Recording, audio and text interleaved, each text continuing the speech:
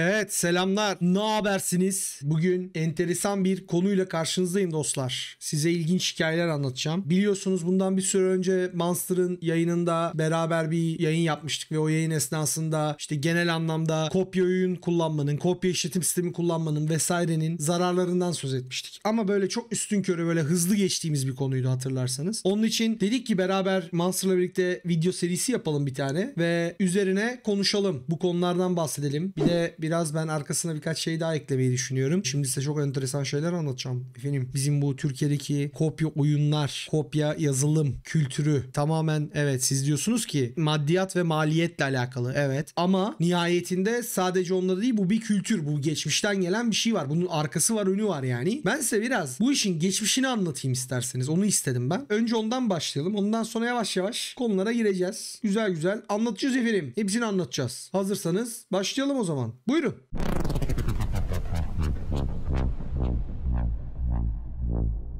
Kopya oyunlardan biz kültür olarak uzaklaştık, koptuk olayı nerede oldu biliyor musunuz? Hani daha böyle orijinal oyunların bizim hayatımıza girebiliyor hale gelmesi falan. Abi 2000'li yılların başında MMO'lar girdi. İşte Massively Multiplayer Online game'ler var ya, büyük rol yapma oyunları, devasa rol oyunları diye geçiyor. Onlar girdi hayatımıza. İşte Ultima Online girdi. Guild Wars vardı 2005'lerde falan. Ondan sonra Night Online girdi işte. Sizin oynadığınız bir sürü ücretsiz free to play MMO'lar var. Bunlar geldi hayatımıza girdi abi. Bunlar hayatımıza girince bayağı bir insanların ilgisini falan çekmeye başladı. Oyun bedavaya oynanabiliyor olması. MMO türü yaygınlaşmaya başladı. İşte atıyorum FPS'ler mesela Counter Strike'lar bilmem neler falan filan bayağı bir kitlelere ulaştı. Mesela FPS türünde abi bizim en kral Network'ten oynayabildiğimiz FPS olayı işte bir tane Unreal Tournament vardı 98-99'da oynadığımız. Bir de ondan sonra 2000'lerde yine aynı dönemlerde oynadığımız Delta Force diye bir oyun vardı. Oydu yani tamam mı? Onları oynayabiliyorduk. İnternetten de oynanabiliyordu. İşte Sana.com sunucuları vardı falan filan. Cem'e de selam olsun. Onun sunucularında oynuyorduk yani. Orijinal orijinal değildi öyle oynanabiliyordu onlar. Ama ondan sonra onlar da tabii internetten oyun oynayabilmek kavramı gelişmeye başladıkça işin rengi de değişmeye başladı tabii haliyle. Tabii ki haliyle şu da var. Hani ülkedeki alım gücünün ve ekonominin biraz daha düzelmesi, işte insanların bilgiye ve oyunlara vesairelere, yazılımlara daha kolay erişebiliyor olması, ıvır zıvır falan daha böyle insanlar açısından baktığınızda ilgi çekici hale getirdi tamam mı? Daha ulaşılabilir hale geldi ve zaten yine de orijinal oyunun zirve yaptığı nokta yine nereden baksanız Steam'in oluşu işte ondan evvel bir iki tane daha girişim var oyunlarla ilgili. Onlardan sonra oldu ama MMO'lar açmıştır. Mesela World of Warcraft ciddi bir örnektir. İnsanların her ay para verebilmesi o oyuna ciddi bir alım gücü olduğunu gösterdi. 2004-2005 yılında Bill Gates geldi bu Türkiye'ye. Ben kendisiyle tanışma fırsatı buldum da Xbox'ın Türkiye'ye gelmesin gibi bir şey söz konusu olmadığını çünkü oyuncu pazarının orijinal oyun ve şeylerle ilgilenmediğini söylüyordu. Böyle bir durum vardı. Türkiye pazar olarak o noktadayken 2000'li yılların sonuna doğru geldiğimizde bambaşka noktalara gitti. Hani yani insanların oyun tercihleri bilmem neleri alım güçleri falan anlamında. Yani sonuç olarak baktığınızda sevgili dostlar işin sırrı aslında bir tek bir oyuna sahip olmak veya işte ben ücretsiz kullanıyorum ücretsizi varken neden para verip alayım bilmem ne falan mevzusundan ziyade bunu bir kültür olarak ve imkansızlıkların diretmesi sonucunda dayatması sonucunda önümüze konan tabak olma durumu söz konusu. Anlatabiliyor muyum? Yani burada pek yapabilecek bir şey yok. Bu, bu, bu tabak böyle. Ve önümüzde o zaman o vardı. Onu yemek zorundaydık. Ve o şekilde de yaptık biz. Yani o dönem öyleydi. Şimdi şöyle bir şey var. Hani o zamanki cracklilerin içerisinden, oyunların içerisinden taş çatlasa işte sağda solda master'a bulaşmış bir virüs vardır. O çıkıyordur. Çünkü oyunları crackleyen gruplar da ünleniyordu abi. Böyle bir durum vardı. Böyle bir şey olabilir mi? Ama oluyordu. Ben diyordum işte bilmem ne team'in cracklediği oyuna güvenirim abi falan diye. Yani oğlum böyle illegal aktiviteler içerisinde bile böyle bir hani hırsızların bile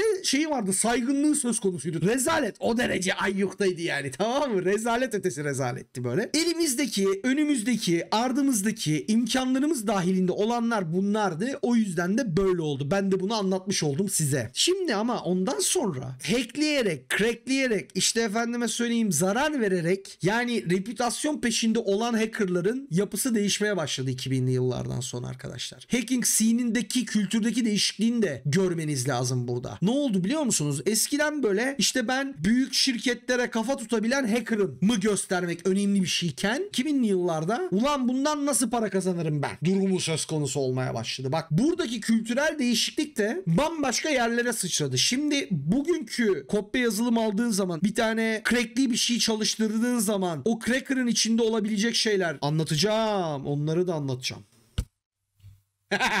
Anlatacağım onu da anlatacağım. Şimdi bak o noktaya bu zaman içerisinde döndü yavaş yavaş. Mesela abi şunu bir eğri oturup doğru konuşalım. Sen bir bilgisayarda neleri kopyalayabilirsin? Kopya olarak alabilirsin. Yazılım herhangi bir çalışan bilgisayarın üstünde çalışan yazılımı alabilirsin. İşletim sistemini kopya olarak alabilirsin. Crack diyebilirsin veya key kullanabilirsin. Oyun alabilirsin. Hile alabilirsin. Bunlarda ciddi olarak handikap ve problem yaratan birkaç husus var arkadaşlar. Dikkat etmeniz gereken onlardan söz edeyim. Birincisi eğer işletim sistemin kopya olursa arkadaşım şöyle bir problemim var. Şimdi mesela gidersin bir tane antivirüs yüklersin. Antivirüs yükledikten sonra o antivirüs gider bir yerde yüklenir. Çalışır canavar gibi işletim sisteminin içinde. Ama şöyle bir handikap var abi. Eğer senin bilgisayarında e, crack'te bir işletim sistemin varsa birincisi en temel özellik Windows update'leri kapatıyor bunlar. Her crack türü de her şeyde bu olacak diye bir kayda yok ama var. Bu onlardan bir tanesi. Birincisi Windows update'ini kapatıyor. İkincisi encryption'ları kapatıyor. Üçüncü en büyük özelliği arkadaşlar işte senin koyduğun remote desktop'taki sertifika yönetimi bilmem ne falan gibi özelliklerin var. Güvenlik özelliklerin var. Bunları kapatıyor. Bak bunlar çok önemli şeyler. Senin laptopunda, Windows'unda bir tane RAT değil de basit bir Netcat tool'uyla bir internete açılma durumu varsa yani bilgisayarını bir şekilde açtıysan internete bir şey için bir adam oraya geldiği zaman senin datalarına ulaşabilmesi için senin device decryption key'ine yani cihazını dekripte eden sen eğer kriptolamayı açtıysan Windows içerisinde onu dekript edebilen yani çözüp içine bakabilen bir anahtara ihtiyacı var. Bu anahtar disable ediliyor abi. Çünkü adam uzaktan bakabilmek istiyor. Update durumunu kontrol etmek istiyor. Uzaktan bağlanabilmek istiyor. Her skizin key ile bütün dağıttığı adamların keyleri adamda duramayacağı için adam bunu disable ediyor. Bu da herhangi bir makinene bağlandığı zaman dosyalarını rahatlıkla görebiliyor. Herhangi bir şeye key'e bilmem neye ekstra bir koruma kalkanına ihtiyacın olmadan dosyalarını görebilmesine neden oluyor. İkincisi abi sen içine ne koyduğunu asla bilemeyeceksin. Yani o işletim sisteminin içinde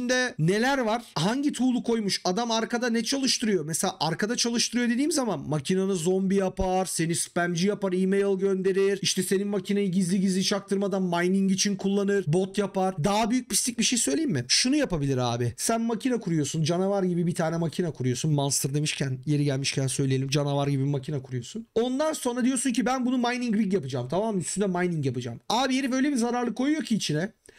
Mine edilmiş şeyleri çal bana gönder diyor. Bak ne senin mining prosesine karışıyor ne başka bir şeye karışıyor. Mining sonuçlanıyor. Senin output'un çıkıyor ya o çıkanı çalıyor abi herif. Kendi wallet'ına. Ya. Bunu koyuyor işletim sistemin içine veya bir crack'in içerisine veya bir hilenin içine veya başka bir şeyin içine tamam mı? Yani buna da açıyorsun makineyi. Hani gittin YouTube videosu izledin adama izleyici bot oldun bu önemli değil. Hadi diyelim salmıyorsun bunu önemli değil. Ama oğlum yani o kadar manyak manyak şeyler düşünüyor ki adamlar. Benim bile aklıma gelmeyen etmeyen bir sürü şey var yani yaptıkları. Bu sen bilgisayarını başkasıyla beraber ortak kullanıyorsun baba. Yazık günah değil mi parana ya? Ben ben sevmiyorum bu durumu ya. Ben yapmazdım ben yerinizde olsam yani. Bu bu bu özgüven ve rahatlığınıza karşı saygım sonsuz ama yani ben yapamıyorum böyle bir şey. Yapamazdım. Yani diyeceksiniz ki abi o zaman almayalım mı? Alma oğlum. Alma yani. Hani işletim sisteminden bahsetmiyorum. İşletim sistemi mecbursun alacaksın da. Hani Microsoft'ta gidiyor bir sürü indirimi var. A, canavar gibi adam diyor ki aylık öde anasını satayım diyor. Ofisini bilmem nesini zartını zurtunu. Ki ofiste ayrı konu. Hani de Microsoft Windows için yani adam zaten bunu zamanında ücretsiz verdi. Artı bir sürü OEM key satılıyor bu Mered'in. Hani yani etraf key zebil derya ucuz key dolu. Ve o keylerin çoğunu denedik. YouTube kanalında bu kanalda denedik. Hani bizim kanalımızda denedik. Gördük. Yani bunlarda böyle bir durum var. Tamam mı? Kanal demişken bu arada Monster'ın kanalının linkini de bırakıyorum ben aşağı oradan bakarsınız tamam mı? Neyse yani abi adamlar mevzuyu bu şekilde çözmüşler. Sen orada dikkat edeceksin. Adamlar sana bu adımlar için her şeyini yapmışlar. Aylarca senelerce burada bedavaya verildi ya bu, bu key şeyler. Windows Windows 10 upgrade'i. Yani böyle bir durum oldu bu ülkede. Dünyada daha doğrusu bir tek bu ülkede değil. Yani Bilgisayarını başkasıyla birlikte kullanma dostum yani tamam mı? Zaten key mesela şeylerde de abi diyorsun ki keygen'im var benim keygen'le key yaratıyorum sadece. Tamam abi antivirüsle tarattım çıkmadı. Eyvallah abi ben kendi kanalımda bir sürü videoda anlattım nasıl antivirüs bypass ettiklerini insanların. E, güncel durumlarda da halen daha edebiliyorlar. Ha, en iyisi mesela şey soruyorsunuz en iyi antivirüs hangisi? Yok oğlum öyle bir cevap. Sende bitiyor olay yani. Kullanma ya. Hani oyunun eğer şeyse abicim free to play alternatifine bedava alternatifine bak. Tamam mı? Ha, onda da diyorsun ki reklamcılara veriyorlar. E oğlum zaten reklamcılara her şeyimizi veriyoruz yani. Önümüzde bir adamlar bir, bir, bir arka sırtımızdan çantamızı almadı. O kadar yani. Onun dışında zaten her şey te- telefonumuzda bilmem nemizde falan. Gidiyorsunuz side loading yapıyorsunuz. APK yüklüyorsunuz. Onları bypass ettiriyorsunuz sistemleri falan. Yapmayın abi öyle şeyler. Bunların hepsi sizin elinizdeki cihazları başkalarıyla kullanma riskine açıyor. Bir de mesela yorumlara yazmışsınız. Gördüm. Teşekkür ederim. Yorum yapmışsınız. Değerli vaktinizi ayırmışsınız. Demişsiniz ki işte abi o zaman hiçbir şey kullanmayalım mı? İnterneti de mi kapatalım? Yok abi ben onu söylemiyorum. Ben diyorum ki böyle bir risk var. Bu riski ya kabul edeceksiniz ya reddedeceksiniz. Tamam mı? Yani bu tercih sizin. İstediğiniz gibi ona göre hareket edin. Ben benim tek derdim var sevgili dostlarım. Bilinçlenin. Tamam mı? Bu farkındalığınız artsın. Ben size bunu anlatmaya çalışıyorum. İnternette adamlar ne yapar, ne eder, neler başınıza gelebilir bunlara dikkat edin. Tamam mı? De, tek derdim bu. Başka hiçbir derdim yok yani. Onun dışında işte mesela hile indiriyorsun. Headshot atacağım bilmem ne yapacağım. Adam diyor ki evet arkadaşlar bu şimdi antivirüsümüzü kapatıyoruz. Niye?